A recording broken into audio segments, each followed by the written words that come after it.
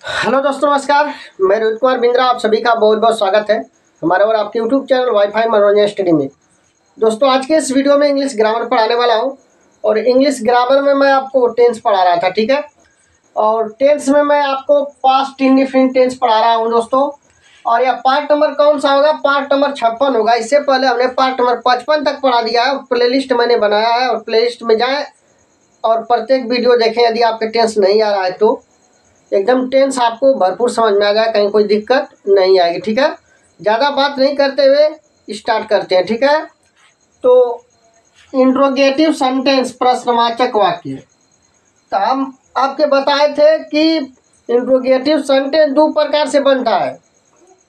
याद रखिए, पहला पहला प्रकार का, पहला प्रकार जब प्रश्न, प्रश्नवाचक वाक्य जब ना, क्या से शुरू हुई?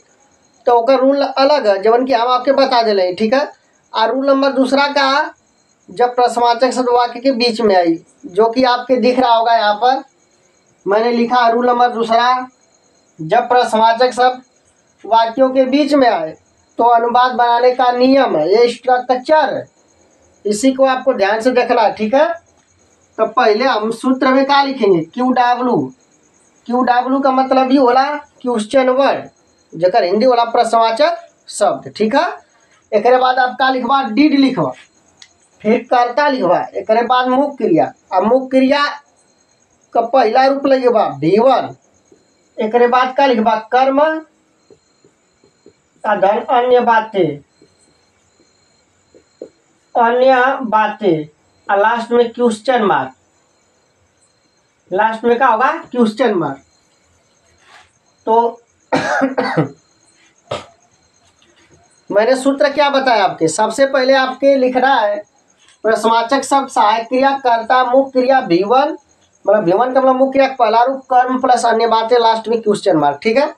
तो उदाहरण लेते हैं और आपके बताते हैं। उदाहरण नंबर पहला लिखेगा।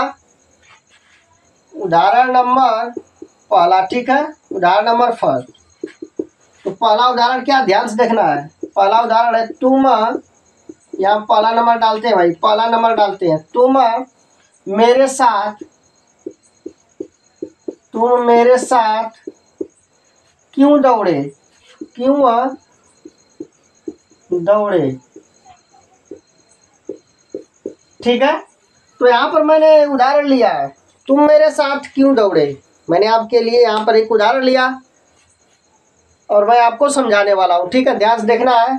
तुम मेरे साथ क्यों दौड़े? इसको अंग्रेज़ी में कैसे बनाना है? सबसे पहले आपके चिन्हना है यहाँ पर, इसे सबसे पहले इस वाक्य को पहचानना है। यह कौन सा टेंस का तो याद रखिएगा पास्ट इंडिफिनिट टेंस का इंट्रोगेटिव सेंटेंस है। कवने टेंस का? कवन सेंटेंस है। यो ध्यान रखेंगे आपके ना। तो तुम मेरे साथ क्यों दौड़े? तो इसका अंग्रेज़ी में कैसे बनाइएगा?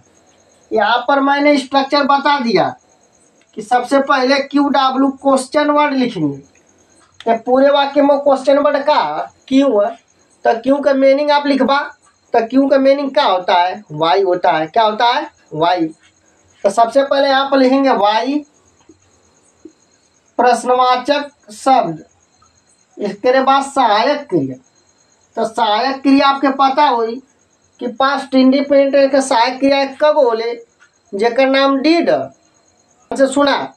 पास्ट इंडिफिनिट टेंस का जब सहायक क्रिया वाला सिर्फ़ एक कब बोले वो का का डीड ठीक है? तो एम तो के पहचाने के ना कि एक वचन करता और बहुवचन करता के साथ हम सहायक क्रिया किस कवने का प्रयोग करी।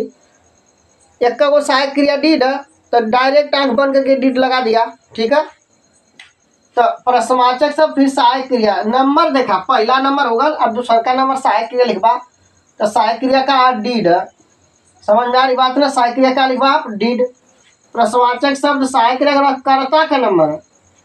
तो ये पूरे वाक्य में आप कर्ता कैसे पहचानबा तो पूरे वाक्य में कर्ता पहचाने बदे आप कौन का प्रश्न करवा कौन का प्रश्न करवा आप? कौन मेरे साथ दौड़ा? तुम। ना तो उत्तर में क्या रहा? तुम। तो वाई डिड यू का लिखवा आप? यू प्रश्नवाचक शब्द हो गया सहायक क्रिया हो गई। एक बाद कर्ता के बाद मुख्य क्रिया। तो मुख्य क्रिया इसमें दौड़ना तो दौड़ना का अंग्रेज़ी का होला पता ना पता बताओ थे। दौड़ा का अंग्रेज़ी रन होला का होला? रन तो why did you run R U N run समझ में आइल बा?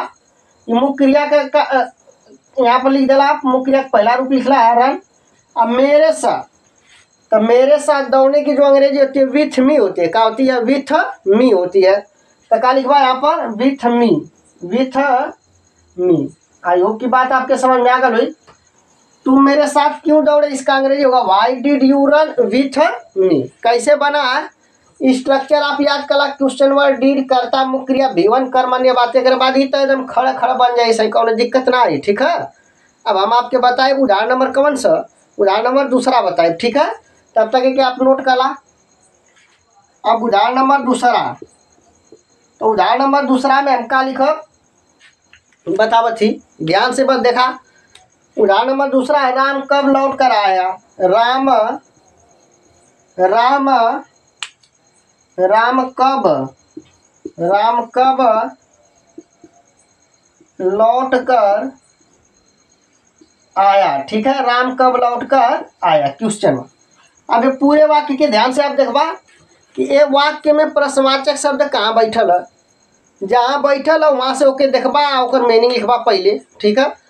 आप ध्यान से देखबा तो यहाँ पर कब तो कब ही प्रश्नवाचक शब्द कहलाई, आ कब का मीनिंग का होला पता है ना? कब का मीनिंग वे, वेन होला। वेन माने कब, का होला? वेन। तो सबसे पहले आप का लिखबा? वेन लिखबा।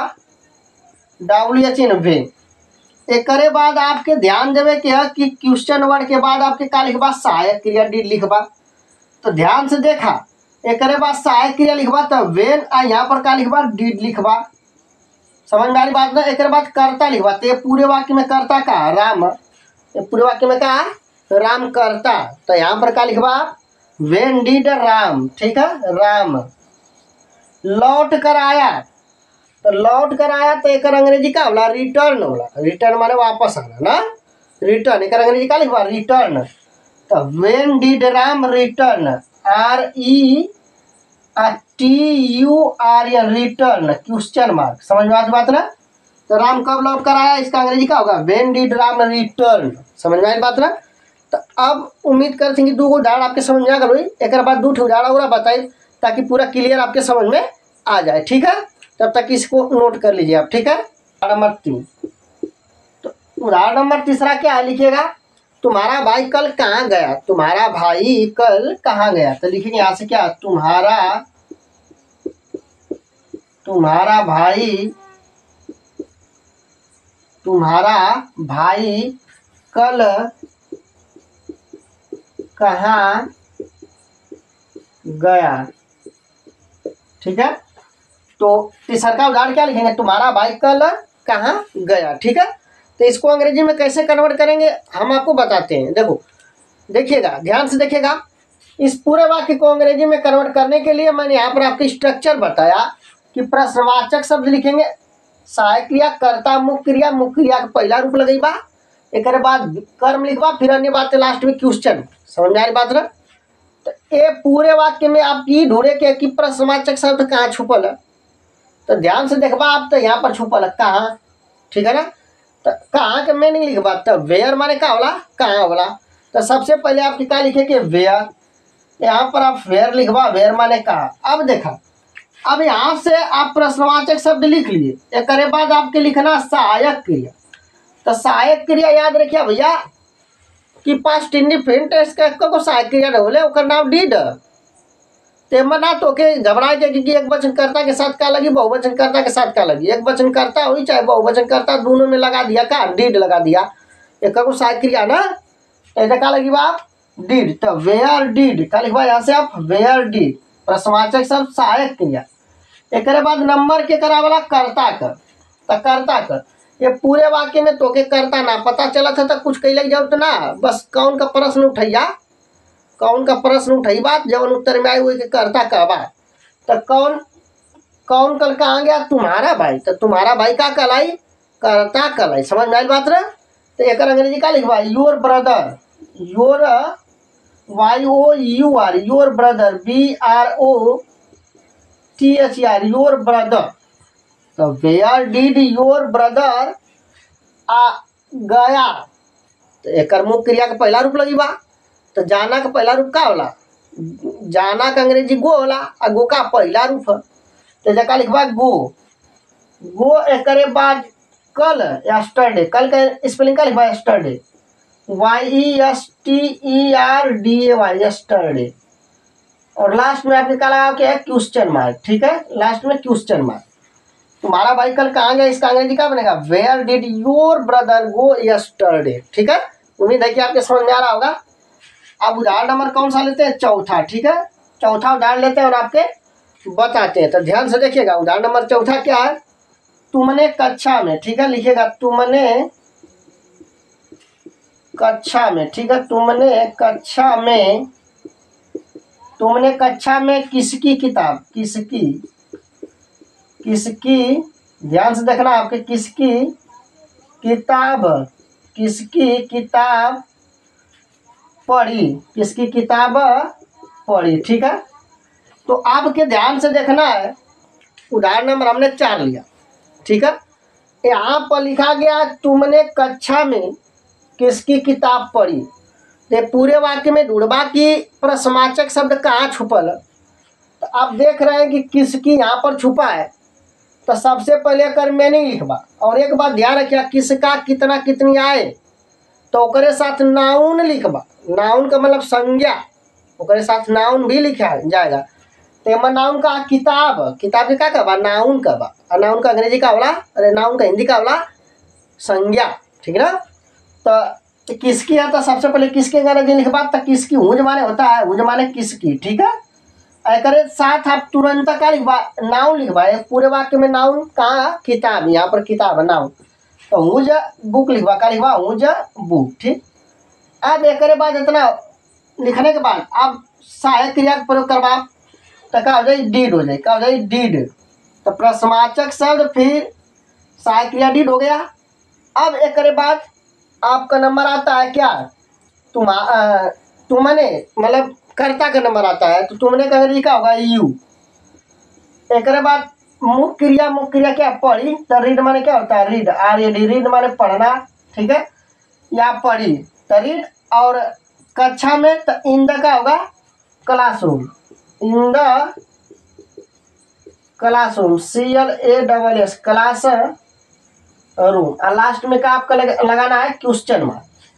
ठीक है? तुमने कर, उम्मीद करता हूँ कि आज जो मैंने पास्ट इंडिफिन टेंस का इंट्रोगेटिव सेंटेंस का रूल नंबर दूसरा हमने आपको बताया और उसका सूत्र भी बताया और उससे आधारित कुछ उदाहरण भी बताया। आपके ज़रूर समझ में आया होगा। यदि यह वीडियो आपके अच्छा लगा होगा तो लाइक शेयर एंड सब्सक्राइब ज़रूर करिएगा। फिर मिलते हैं अगले वीडियो में। जय हिंद, जय भारत।